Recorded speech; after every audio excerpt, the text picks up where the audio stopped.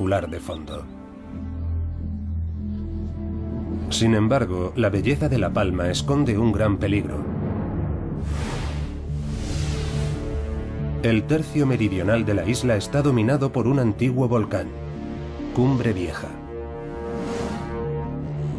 No tiene el típico aspecto de un volcán. No forma un gran cono, sino una larga cresta salpicada de chimeneas y cráteres.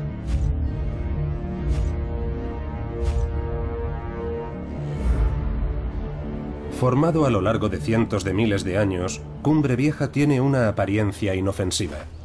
Pero para Day Ward está preparado para desencadenar un megatsunami. ¿Cómo es posible?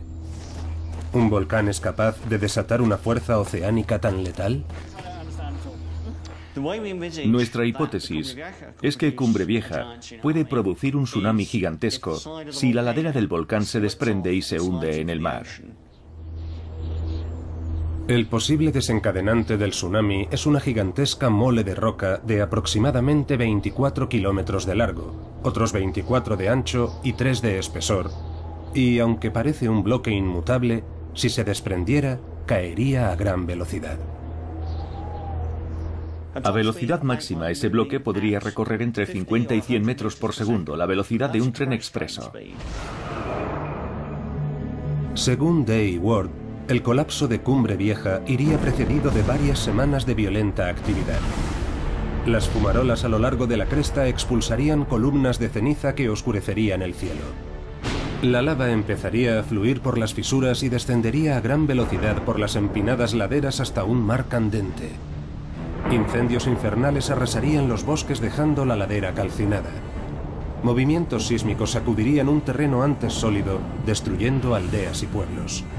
Entonces, muy lentamente al principio, no menos de 500 kilómetros cúbicos de isla empezarían a desprenderse, originando una ola. Una auténtica cordillera de agua que se elevará más de 900 metros en el aire.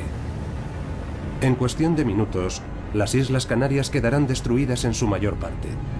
Una hora después, el megatsunami generado devastará algunas partes del norte de África y de Europa.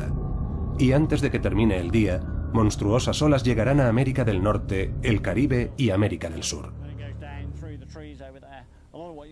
Cuesta imaginar que una isla volcánica pueda desencadenar un megatsunami. Asteroides, sí. Seísmos submarinos lo hemos visto. Pero muchos dudan de que un pedazo tan grande de cumbre vieja pueda precipitarse al mar tan bruscamente. ¿Es posible semejante